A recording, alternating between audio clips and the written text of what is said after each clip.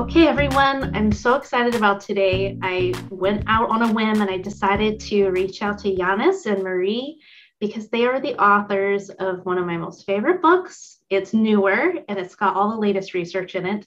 Uh, they are the authors of Effective Teaching Strategies for Dyscalculia and Learning Difficulties in Mathematics Perspectives from Cognitive Neuroscience. And inside, it's got wonderful, wonderful descriptions and images to help you really understand what helps children. And so I reached out to them to ask if they would come and talk a little bit about it. And I realized that one interview would never cover all the questions I have, but we're going to do our best today. We're going to start with just a few things out of this book because there's so much that we could cover. But welcome to Giannis and Marie. Thank you so much for being here. Thank you for the invitation. Yes, our yes. pleasure. Oh, yes, I'm so excited. Um, so, Giannis, you're in Greece, and Marie, you're in Belgium right now? Yes. Yes, thank you. So, I appreciate you making time for us later in your evening um, to join us here over in the US. So, let's talk a little bit about your backgrounds. Um, let's see, Giannis, tell us about you and a little bit about a bio about you. Okay, I'm um, I'm a mathematician, uh, so I hold a degree in mathematics and master in mathematics, and then I did my PhD on, uh, I don't know, maybe numerical cognition and uh, something like this. And um, then I met Marie-Pascale at her university in uh, Belgium, where I did a postdoc, and we developed together the MathPro-Test, the full version. Um, and um, uh, yes, I work with um, in University of Athens and University of um, Nicosia, and mm-hmm. uh, teach uh, learning difficulties in um, in mathematics. And um, uh, I do assessment uh, um, uh, for children with learning difficulties and supervise teachers that they deliver the intervention and training teachers around the world on these issues. That's so fantastic. Uh, what, what about you, Marie? I'm a psychologist. I've been trained as a neuropsychologist. I did my PhD in uh, neuropsychology with uh, adult patient who, after a brain damage, could not anymore uh, process numbers. Some of them could not read numbers anymore. Some of them could not calculate anymore. And uh, and then I moved into the field of uh, child numerical development. Uh, and I'm doing research in that field since about maybe 20 years now. Oh, wow. I, I've been doing very what we call fundamental research, um, examining theoretical questions, but I've always been interested in having an impact on the field, on, on the clinic. So I opened a clinic in the university uh, for uh, people who have learning disabilities. And there I work with uh, child neuropsychologists, with speech therapists. And uh, in that place, I have the occasion to assess some children with learning disabilities in mathematics or to guide the clinicians uh, in the interpretation of the assessment, in building mm-hmm uh, remediation programs and so on. Wonderful. I'm so excited that you two have chosen to study this field. I feel like I am that child that struggled in school greatly and they didn't necessarily understand why, right? But I was shy, so I didn't necessarily let people know how much I was struggling. Um, so, what brought you two together? How did you meet? And what made you go, hey, let's work on this together? Actually, I met Giannis in a conference. I don't remember where it was. In in UK, in London. Yeah, in London. Yeah. And uh, I was um, interested in the way he was uh, really um, uh, having good ideas about real uh, tools for learning mathematics and helping children with learning difficulties. And I was uh, one of the keynote of that conference.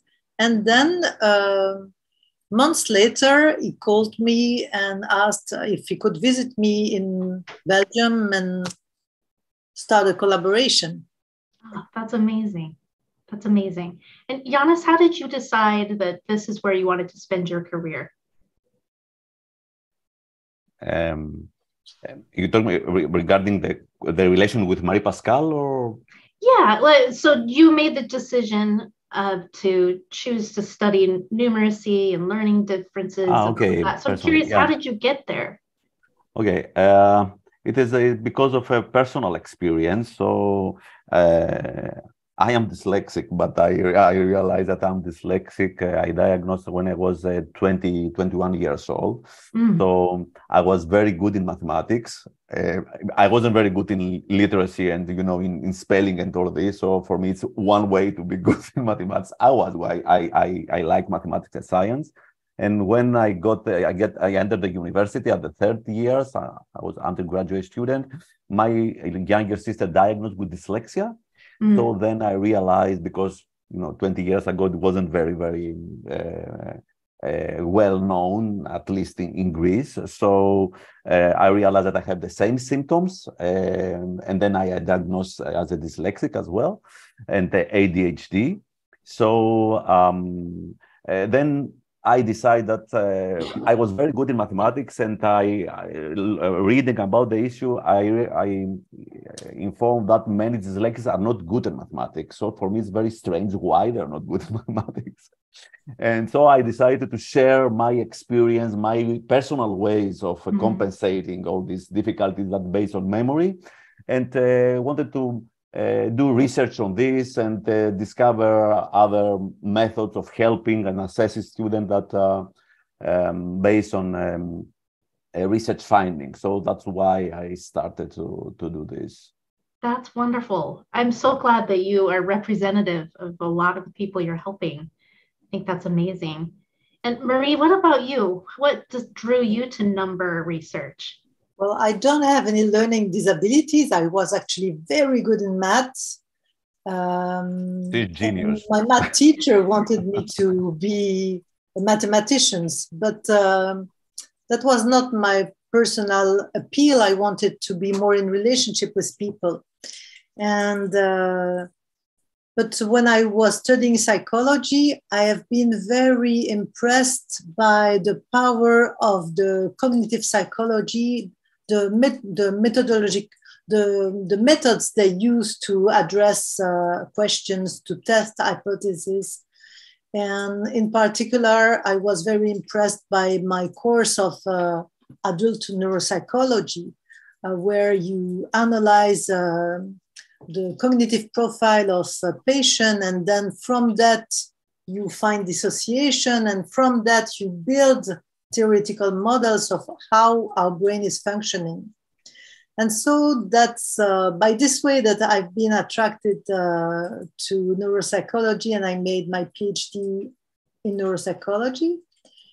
And uh, during my PhD, I was uh, going to the hospital and then examining some patients who lost some of their numerical abilities. And then I was uh, assessing them for like maybe 10 sessions and uh, building new assessment tool observation uh, uh, situation and so on. And then after that when finally i got a clear picture of their very specific difficulties. I was tailoring a specific remediation program perfectly adapted to the patient. But then after maybe five, six uh, uh, session of uh, remediation, they told me, well, you know, I have this problem in math, but I have so many more problems with my language, with my memory. And so I want to put all my energy on those clinical uh, remediation session. And I was feeling quite frustrated and a little bit useless. Mm. And then I met a woman um, uh, who was addressed to me by the neurologist because she had a very um, big difficulties with mathematics, but her brain was perfect. And so there was no brain lesion. And when we were speaking with her, she was telling us that her difficulties were there forever. I mean, since her childhood. And so it was the first time I met someone with what we call a developmental problem, developmental dyscalculia. And um, I was very um, sad when I was hearing her story. All the difficulties she had, nobody acknowledged her difficulties. She didn't even obtain it, uh, the what we call the primary school uh, mm-hmm. Uh, diploma. Mm-hmm. So, of course, she couldn't go into interesting uh, studies to learn a profession that she would like. Uh, I mean, the, the opportunities were very weak. And, uh, and then I understood that uh, if you have a developmental dyscalculia, it can really change all your life. Yes. First of all, your school experience, but also your professional life. Then I met another woman. She said um, she she was uh, going to see a clinical psychologist because she she was in her forties and um, she had several problem. I would say affective problem, and uh, she told me, well, I've been brought, and everybody was always telling me that I am stupid, and so I would like to know. Uh, whether I'm stupid, I would like you to test my IQ, my uh, intellectual uh, quotient. And when I tested her, she was not, uh, she was perfectly norm- normally clever, but she had a very severe dyscalculia. And for her, it was really a relief to have this diagnosis, mm-hmm. to discover that she, she was uh, absolutely normal. She was not stupid, but she just had learning disabilities, specifically in mathematics. Yeah. And all the cases with uh, adults uh, with dyscalculia that I met uh, made me really realize how important it is to contribute to this field. When I started, like um, 20 or 30 years ago, there were nearly no literature on the topic.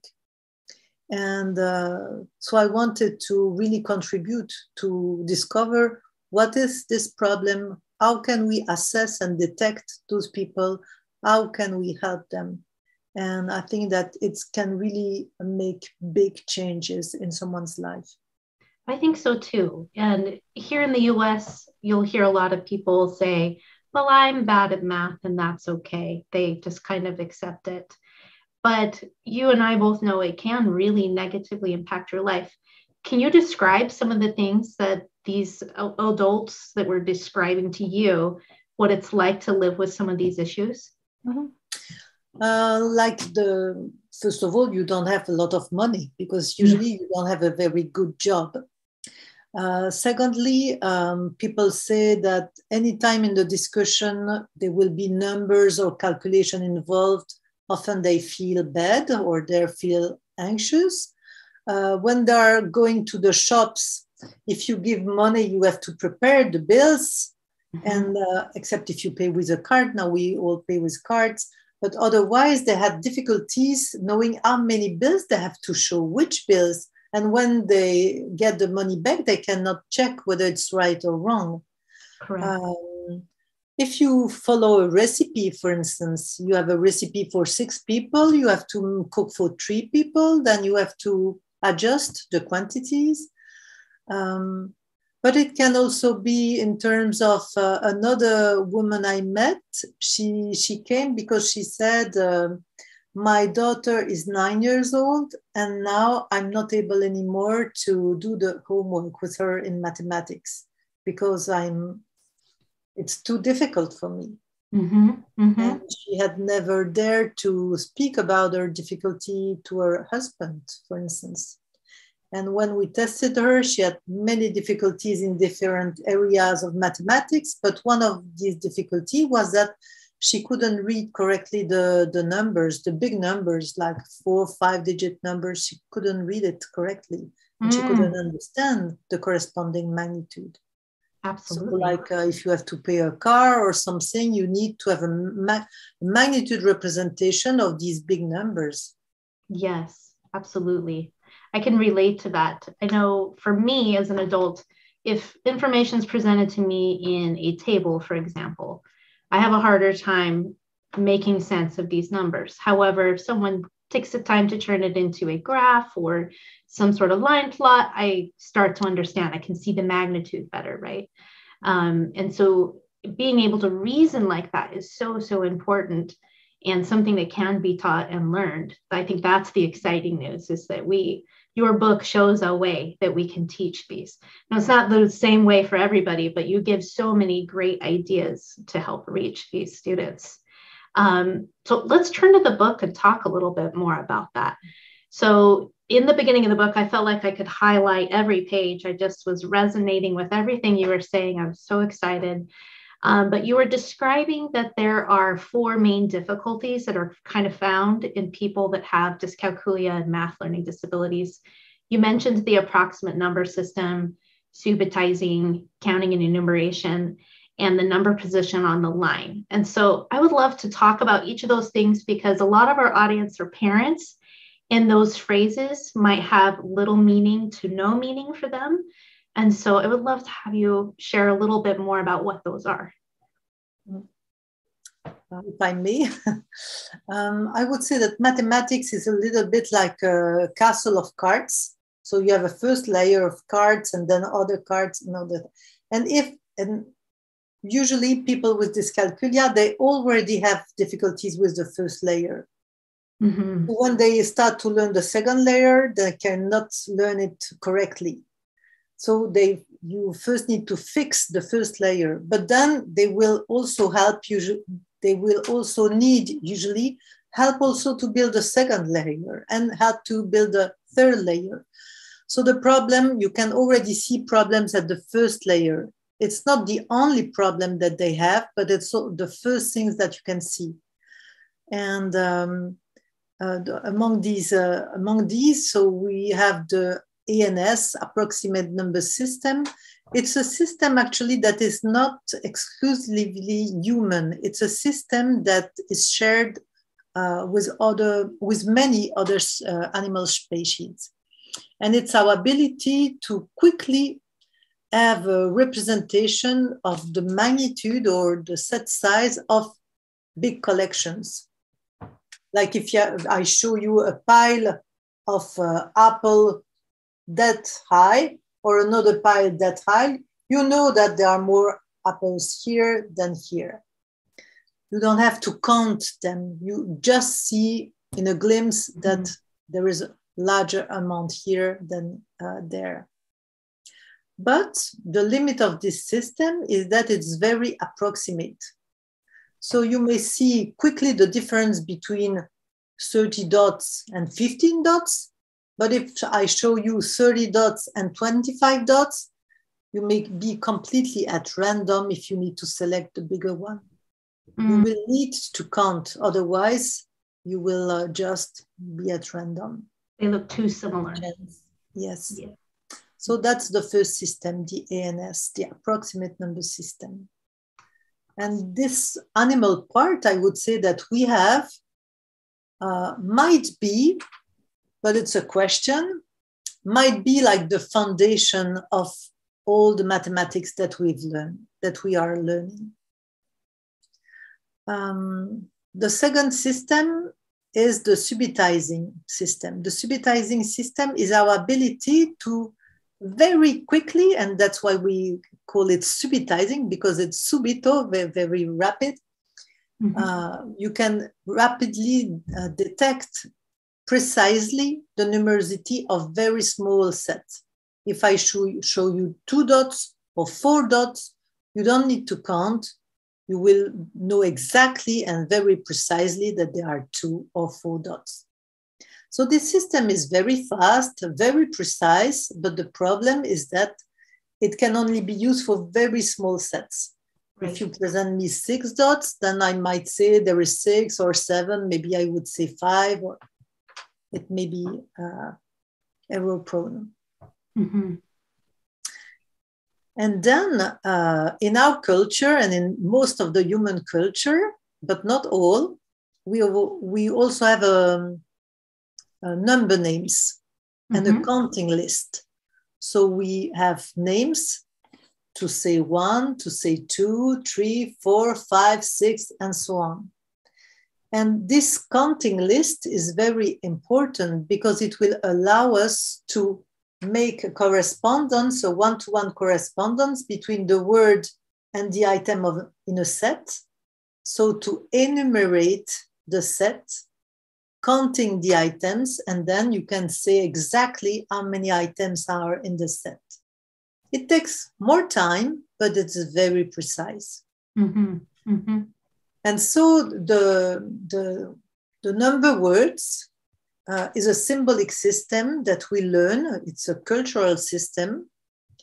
And it allows you to go much beyond the approximate number system because it will allow you to create an exact number representation. And then you know if I tell you 14 or 15, which is big, bigger, you know it's 15. You don't have to count, uh, and you are perfectly correct if I use number words or Arabic number mm-hmm. Mm-hmm. as well. That's wonderful. Yeah. Um, then maybe I, I finish with the last one. Yes. Uh, the number positioning on the line. Mm-hmm. Usually, it's a task actually that uh, has been uh, developed by uh, Bob Siegler. Uh, it's uh, you present the child with the line with two numbers at each extremities, like for instance, zero and 100. Mm-hmm. And you present a number, either a verbal number or a number written in Arabic digit, let's say 14.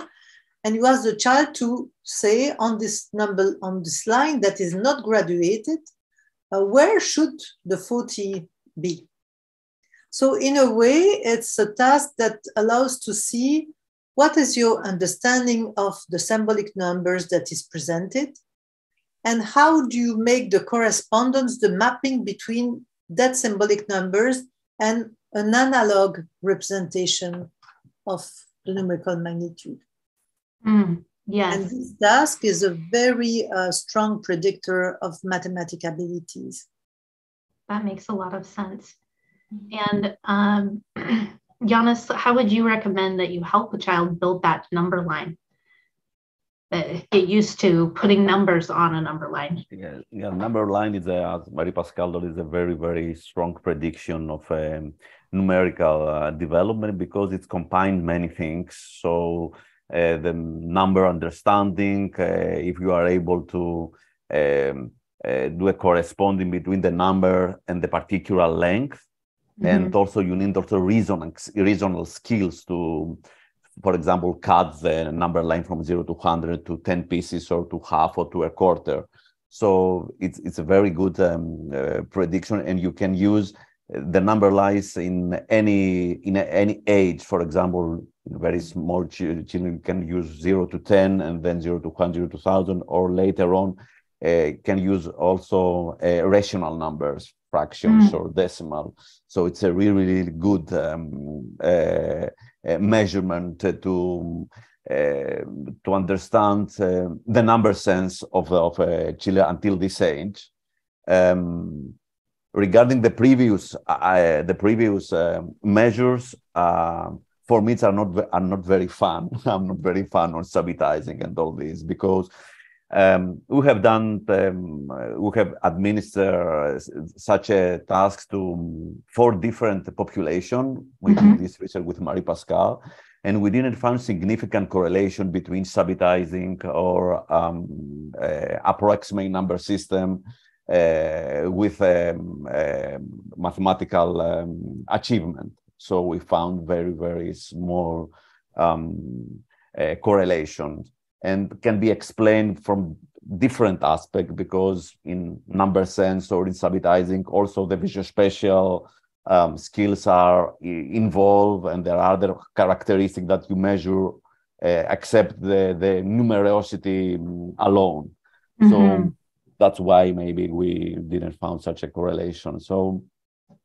from my point of view, uh, since when I, we want to help a dyscalculic student or a student with learning difficulties in mathematics, I like to see, you know, the, the, the whole picture, and I want to make this, the children to um, um, feel um, uh, successful in the mathematical school.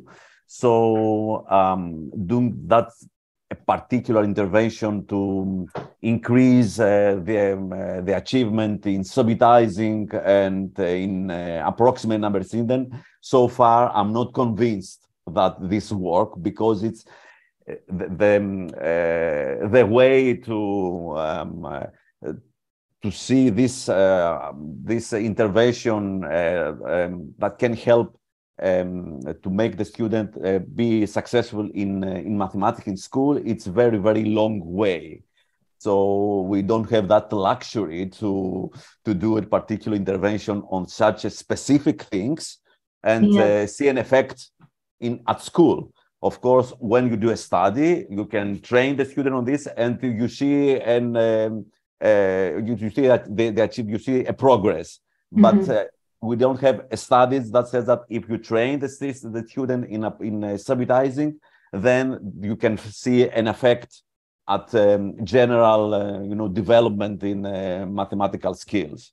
Mm-hmm. So I hope to have um, studies on this and uh, convince me that it, it, it really. Yes, uh, please do study because I I yeah. think that's a valid concern that you have and something that we've talked about as a team when we were reading about kind of how no one's able to really prove that that's a really effective intervention. One of my team members went and took a subitizing test to see if she would get flagged as having math issues. And she's a very gifted mathematician, in my opinion. And she did. She got flagged for probably some of those reasons that you're talking about, like visual spatial reasoning may have been a little bit off. And so we both were talking about how um, yeah, we can see like maybe some of the false positives that could occur in a study like that. But I would love to study it more because I think we see with kids if we're combining, you know, symbolic Arabic numbers with the subitizing in like a dice or domino pattern, those things together help the child make progress. But there aren't as many studies about that. And so I'm raising my hand. If you need people to help, let us know. we have a lot of students with exactly the demographic you're looking for. Um, but I would love to hear from you, Marie, like a little bit more about the subitizing, because you looked at that about um, the possibility that it's is it accessing numerical magnitude or the representation of the symbolic code rather than those dot patterns. So could you share a little bit more about that? Because you do go into that in the book. So there are uh, theoretical questions of uh, about what would be the more initial uh, numerical uh, step that would already show uh, difficulties uh, in children with dyscalculia. And so one of the question is, do people with dyscalculia have an impaired approximate number system? If yes, you could actually expect that maybe some animals also are dyscalculic. that would be mm, funny. That's interesting. I hadn't thought of that. Yeah. Um, and there are many um, argument about that uh, in the literature and uh, uh, many theoretical debates and so on. And um, but as uh, Giannis was saying, I'm not sure this is a good avenue for people who are wanting to help uh, children with dyscalculia. Mm-hmm. Um, and also, there are many problems with this approximate number system because one of the questions is when you see two sets of objects and quickly you can decide which one is bigger, usually there are many other factors implied. Maybe this set contains larger items or takes a larger amount of the space. Sure. Or is darker if the da- dots are dark and all kind of other things that leads you to have a sense of magnitude. So it's a sense of magnitude, but maybe not specifically a sense of number magnitude. Yes. Other kind of magnitude as well, which actually interact with one another. Mm. And subitizing, subitizing has been shown to be important uh, when children need to learn the meaning of the first words, first number words. When you have to understand what does it mean, one, two, three, four, it helps them if they can subitize yes. then they can make the mapping between are these two when they, I take them together, it corresponds to the word two. And mm-hmm. these three, when they are all together, it corresponds to the word tree. So it can help it this, at this very first step. But then otherwise, um, its role is rather minor, I would say. Um, sometimes if you want to count very quickly a collection, then maybe you can see, oh, there are three here, two here, three there. So it makes eight. Or sometimes for when you want to add little sets, you can group them if you have good subitizing abilities. Otherwise, you have to count them one by one. Mm-hmm. But in mathematical classes, it is not very often required. Yes, yes, that's fantastic. Um, so let's talk about a little bit more about what helps then with that magnitude. Um, I don't know who whoever wants to to attack that one.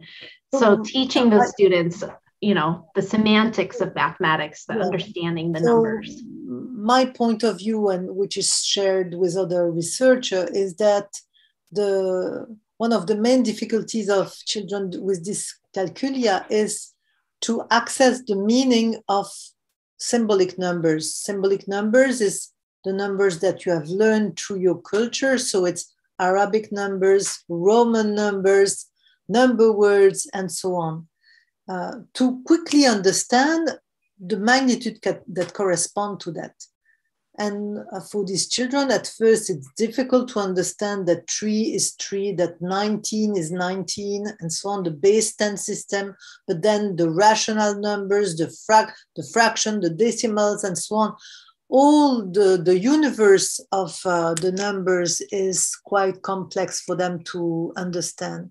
And I there is not much study about that, but I would say that probably also all the math language in general uh, also the understanding the the numerical operations, the the symbols like p, uh, like uh, all these mm-hmm. um, mathematic vocabulary is also challenging for these children. Absolutely.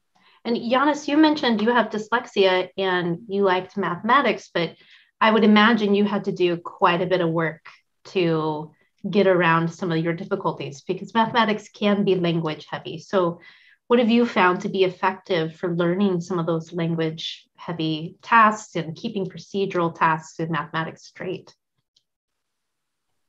Um, since uh, I was lucky that I, I, didn't know that I have dyslexia, so I was that I was a normal. So that's why I compensate. That I think it's normal for someone to uh, don't learn by rote the timetables, for example. I never learned by rote. I, I wasn't able, but I use you know the reasoning skill. So to do uh, six times uh, eight, for example, I said that the fifth eight are 40, 40 plus eight is 48. I, and I proceed very, very quickly. And I thought this was the normal. Mm. So for the very beginning, I focused on the reasoning and mathematics, and um, I couldn't learn um, even the the proofs of the theorems and all this. I, I couldn't learn them by rote, but I I, I know how to uh, to get it uh, using um, uh, the identities and the properties of uh, mathematics. So uh, I think that there are many dyslexics, for example, that their problem are the memory and the procedural memory and all this. Uh, that the, the, the special educators they focus a lot on explicit uh, instruction. And this is not the proper way for those students because even you have an explicit instruction they have to follow the steps. So they overload the memory and they, they don't focus on the, on the reasoning and how they can uh, have a deep understanding. Mm. So that's why in our book we propose um, uh, different approaches. Of course, an explicit instructor it's a, a main um, um, uh, uh way of intervention for dyscalculics, but for other students that they have a problems, memory problems, or procedural problems, or attention problems, um, it's better to focus on deep understanding and trying them to think and uh, make the connection and compensate the memory problems. Mm. How I um, I compensate, and I think the problem is um, uh, the main problem is the training of the special education teachers. Uh, some of them they are they afraid mathematics. They are not uh, very good educated to, to teach mathematics and they just uh, you know deliver explicit instruction procedures and uh, do again and again the stuff. And i think it's um, it's not a proper way of uh, doing uh, mathematics for such um, um, uh, students. Sure. Uh, some of them are very bright and they can find very very quick and very smart solutions but we don't give them all these um, opportunities and teach them in an explicit way Absolutely. So you're saying it would be better to teach them bigger ideas and how the pieces and parts work so that they understand the big picture of mathematics, but also the how the components inside work so they can reason in a way that makes sense to their brain. Yeah, um, yeah. Okay. Yes, yes, I agree with that. That's really, really good. Um, so I would love to talk about uh, a little bit about your test, Giannis. I found it, I was just doing more research. I was reading your book and I, Math Pro S, I want to go check out this assessment. So, can you talk a little bit more about this assessment, why you wanted to create it? Because as I was reading it, I was getting really excited because there is not is very many assessments that are going in the path that you are. Um, I want that data for our students at Made for Math. So, will you share a little bit more about that test? Yeah, the Math Pro test is a, is a battery that I developed um, uh, with Marie-Pascale. So the full version consists of uh, 18 um, uh, tasks um, uh, that there are tasks that we measure the um, ANS that Marie-Pascale uh, um, talked earlier, the subitizing and all these pure um, uh, measure. but also there are other tasks that based um, uh, mainly in memory, like a fact retrieval, for example, on some reasoning tasks like a pattern, some visual spatial tasks like number lines and um, all this. We have categorized, uh, although we know that some overlapping and some more complicated tasks, there are many different cognitive skills that um, uh, intervene. So this is the full version of, of the task. And um, and then recently we developed um, using uh, IRT, um, uh, item response theory. Using this uh, methodology, we make the short version because the, the, the clinician and the um, expert asks for us something, a, a, shorter version that is very, very fast and quick, and so we can assess many children as a screening tool that can be uh, used in, in a school and those students that are identified at risk can take them a full version by an expert, then can then can build um, an, a proper intervention, individualized uh, intervention program. So so far we offer um, the short version uh, in Greek. Mm-hmm. Um, we have standardized this uh, um, uh, battery in in French, uh, in um, Flemish uh, language, in uh, Italian, and in English. Mm-hmm. Um, and hope the next month to release also this uh, language and anyone can want to use it it's online and everything is automatized so can get the reports and um, have the mathematical profile of the of each student and then can proceed to the intervention Oh, I love that. I think that's such a great tool. My sister is like a head of a school, the principal, and she was talking about how difficult it is to assess a large group of kids and really find who's struggling. So I'm excited to share this option with her because this is a big focus for her school this year. And I think a lot of educators are probably going to hear that and be excited about it because time is of the essence. A short test, yes, I love that. Makes it easier to really hone in on which students are going to need help. That's exciting. So as you get more versions available, Giannis, keep us up to date. We'll update links down below in the post of this video so that people can stay in touch because I want to support the work you two are doing. This is so exciting. Um, it's just, it, yeah, exhilarating to see the tools that we need are being made. And so thank you for doing that work. I just really appreciate it. Um, before we go, is there anything else you want to discuss and chat about um, regarding these students and what we can do as a community to help them? I wanted to say something, but um, more about the specificity of the book. Mm-hmm. Um, being in the research field, uh, I see many books that are very theoretical, very um, uh, based on research, and sometimes they want to um, impact the clinical field, but they are so far from the reality that it's nearly funny to see uh, what they propose. And uh, on the other side, you can find books where uh, there are plenty of exercises for the children and so on, but there is nearly no, theoretical, no theoretical background.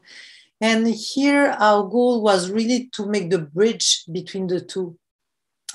Because if you want to um, remediate uh, a child with uh, learning difficulties, you need first to understand how this castle of cards is built in a typical children. What does the errors of the child tells you about the mechanism that goes wrong into that child? And then after that you you can build your remediation but you need to have all this theoretical background and yeah. then you have to have proposition of exercise and so on but see how to build them in a specific order uh, according to the difficulty level according to the developmental pathway that is typical in a child. Yes. And that was really the aim of this book. And I think it's really um, a unique signature of this book to really make this bridge up to the point where a, a remediation program is proposed step by step.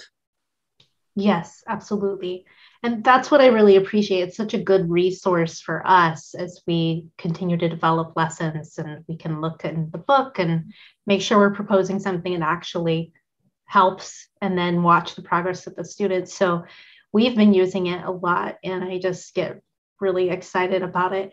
Um, do you two have any plans to create a video course based on your book? Giannis?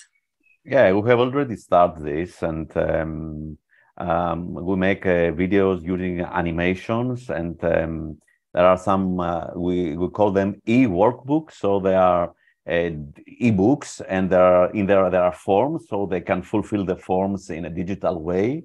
So they can send uh, the student to the even um, uh, to, to their coaches uh, online.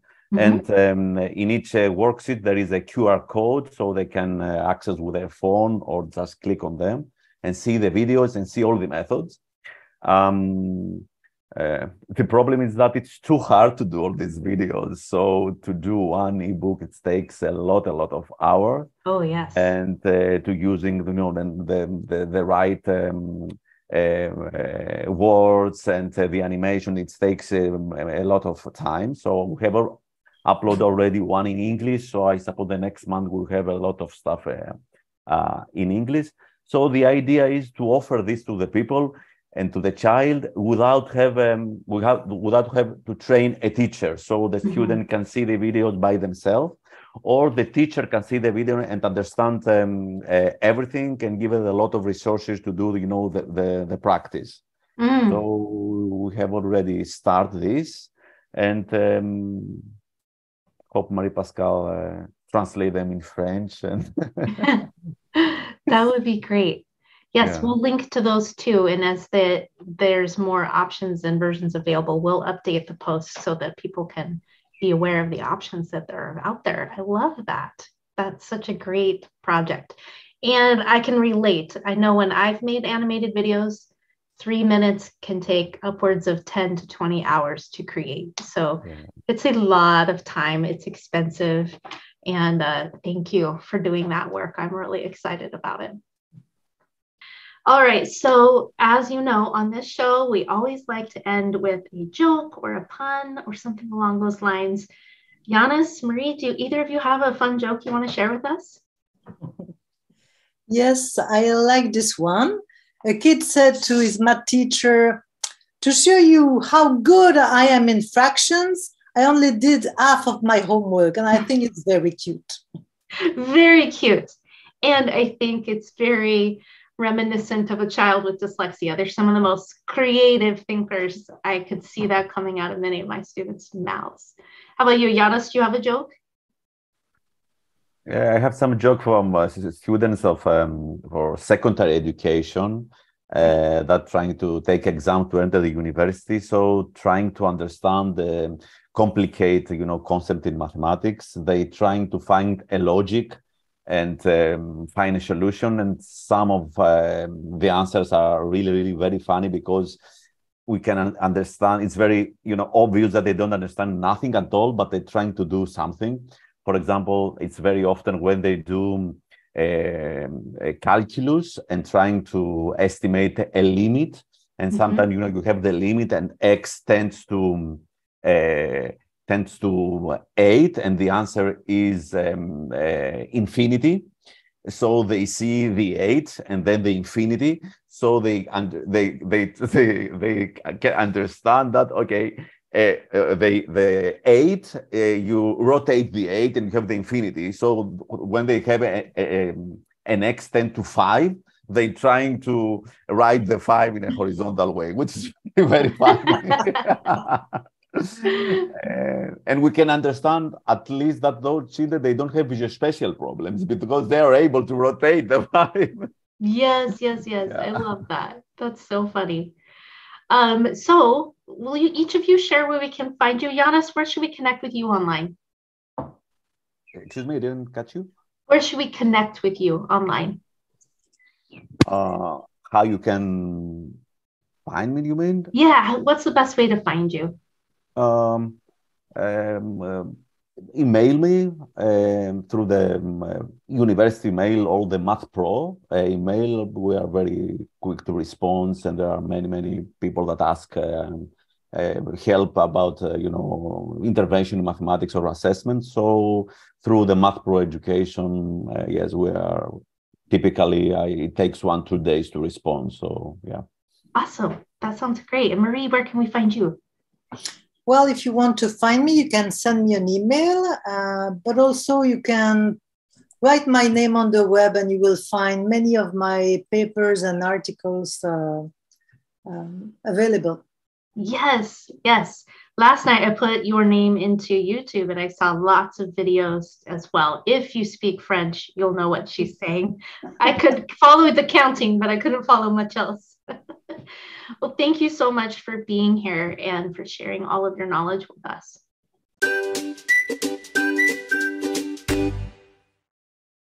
My friends know that I have a math book addiction. So many of them have great ideas and good research, but I'm often left with the feeling of, now what? Exactly how do you teach this? That's why when the Made for Math team set out to write books, we wanted to make sure we didn't leave readers feeling like they needed more. You can get a copy of Math Facts to Memory and be explicitly instructed on how to teach students to add and subtract within 1 and 10. It's a multisensory approach and is perfect for parents, special ed, or any professional that does pull out Tier 2 and 3 intervention for students with math learning differences. Inside, you'll find the latest research, tons of games, vocabulary sheets, and detailed instructions on how to guide students. Pick up your copy at shop.madeformath.com.